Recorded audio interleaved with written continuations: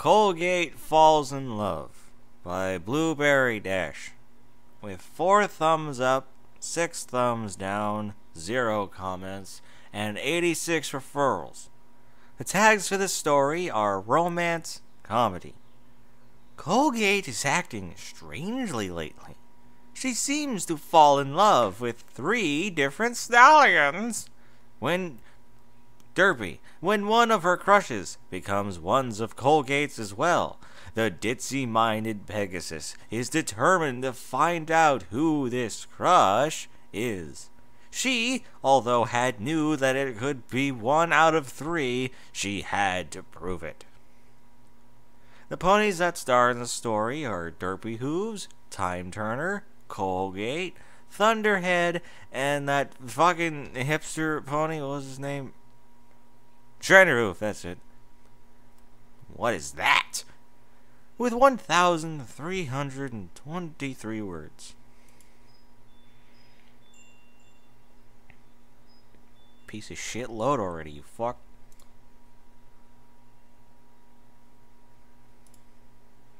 Fucking garb piece of fucking shit. God damn it! Muffin! Omga! Is that strawberry muffin mixed with muffin flavored chocolate ice cream with a topping of blueberry sprinkles? Yummy! Uh-huh. Derpy Hooves gobbled down the scrumtious muffin the cakes had made, specially for her, in Sugar Cube Corner. With a flick of her hoof, she wiped her mouth grudgingly. That was good. Hmm, I wonder what else muffins there could be? She looked around, her orange, cross-eyed eyes darting, dart, dart, orange? fucking yellow. Cross-eyes, eyed, darting in every direction, sparkling excitedly, like Rarity's sapphire-covered dress. A gasp escaped from her throat. Is that a muffin cake? To be exact, a cake made out of muffins that are each different fruit flavored? Sounds disgusting. Derpy was delighted. She can't stop the drooling running out of her mouth. Ignoring the price, she leapt and bit onto Colgate's horn.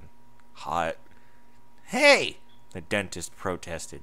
Derpy, do be more careful. Your teeth could get all cracked. And honestly, what are you doing here? I'm here to protest all the sugar the cakes used. Wait, are you here to eat muffins? The look of horror came over the unicorn's face. What's wrong with that? Derpy freed herself from Colgate's hard, hard horn. Ugh. Colgate groaned and face hoofed. Ugh. Honestly, I have told you don't eat muffins or any sweet stuff after brushing your teeth. Remember, brushy, brushy, brushy. Seriously, muffins are so sweet. Your teeth are gonna decay. Derpy looked at Colgate in confusion. Um, Colgate? She began. You're not Applejack. The element of honesty. Secondly, I haven't brushed my teeth yet. Are my teeth decaying? Where's the banana slugs? What? Fucking... Fuck. Ugh! You're so difficult to handle! Exploded the unicorn. Oh, fine. Your teeth is gonna be all. um, real rotten. You can tell? Derpy's eyes widened. You're all. You're too ditzy. With that, Colgate galloped away from the Pegasus mare who was shrugging. Derpy tapped her hoof on the table thoughtfully. Well, maybe I should just order this muffin cake to take home and share with my family. Dr. Hooves, Dinky, and Sparkler. Okay, that's a good idea. And with a basket in her mouth, off Derpy trotted happily, excited to share the scrumptious muffin cake with her beloved family. It was the day. The day the hooves go to the dentist's. And that none other is Colgate. Mom, I don't have a cavity, do I? Sparkler yelled. I wish you won't, murmured Derpy as she brushed her teeth once more. Our teeth have to be perfectly clean, or else Colgate won't be pleased. Mommy! Dinky looked up at her mother. Why do you always care about teeth brushing when we go to Colgate's? You usually don't really. The filly traced her hoof on the ground nervously. Don't care so much about it. Shyly, she put on a curious face. That was a question she always wanted to ask.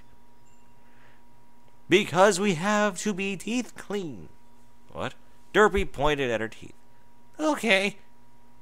Dinky was rather confused by the answer. Oh, and Derpy, Dr. Hooves replied, what's that over in the basket? That odd, lumpy picnic thing. He squinted at it rather carefully. Could it be? It's a muffin pizza. Derpy patted the dust off her husband's ah. Derpy patted the dust off her husband's tie. Dinky's eyes sparkled. Really, Mommy? Can I eat it now? Please, please, please, please, please. You obviously can't. Sparkler reminded her. Clean teeth. Dinky groaned. So off the family went to Colgate's dental clinic. Colgate gazed out the window rather wistfully. Eh, she thought. The hooves are coming today. She sighed as she looked at her reflection. Hope they don't have too many crumbs in their teeth. Ding! The door opened. It was the hooves. We got our teeth cleaned real good, Colgate, Dinky shrieked. Very good, Colgate said absent-mindedly. She was busily staring at the teeth of Derpy. What? The Pegasus inquired. Cavity. I'm fixing that up. Don't you dare let my mom hurt, Dinky said ferociously. Silly, he won't. Dr. Hooves chuckled. She's a dentist. She's excellent at this sort of thing. Yeah, Dink. Sparkler laughed as she rubbed her hoof against the little unicorn's soft little yellow, yellow mane. Okay, okay. But can I at least hold my mom's hoof? Dinky replied. Colgate nodded. She didn't like, she didn't at all like the hooves. They always have gotten something dirty in their teeth, which angered her very much. Like last year, she sighed as she stared down the dark hole in Derpy's tooth. What with Derpy's winces of pain and Dinky's screams of alarm, Colgate, after fifteen minutes, fixed the cavity. Wow, good as new. Derpy grinned at herself in the mirror. Now I can eat more muffins. Ugh. Colgate face hoofed. Oh well, Sparkler, come. Inspecting every place in her mouth, Colgate grimaced when she saw a muffin crumb stuck between some teeth deep inside. Sighing, the dentist levitated a brush and started working away at the muffin crumb.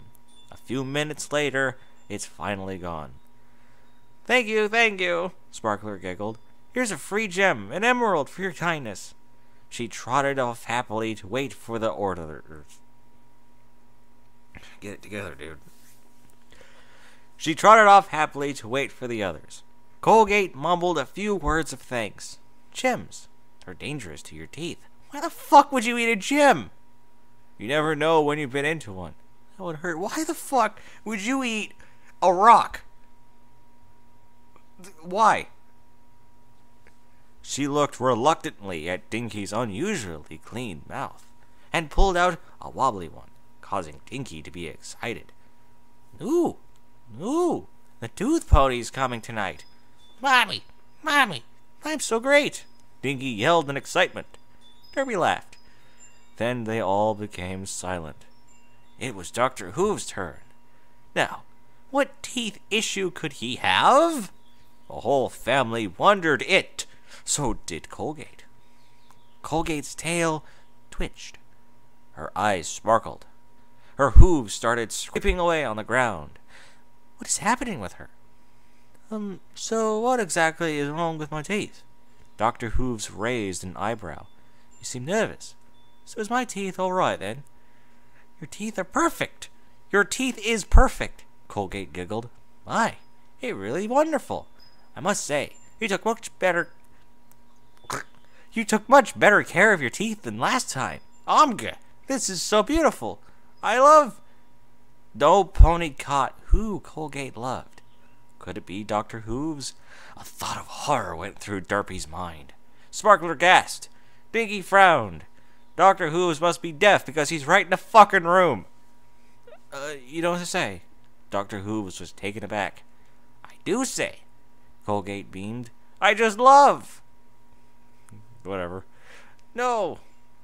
No. What the heck is happening to you, Colgate? You're fine, but I'm already. Dr. Hooves tripped over a chair. But please, just one. Colgate smiled sweetly at the shocked time traveler. One what?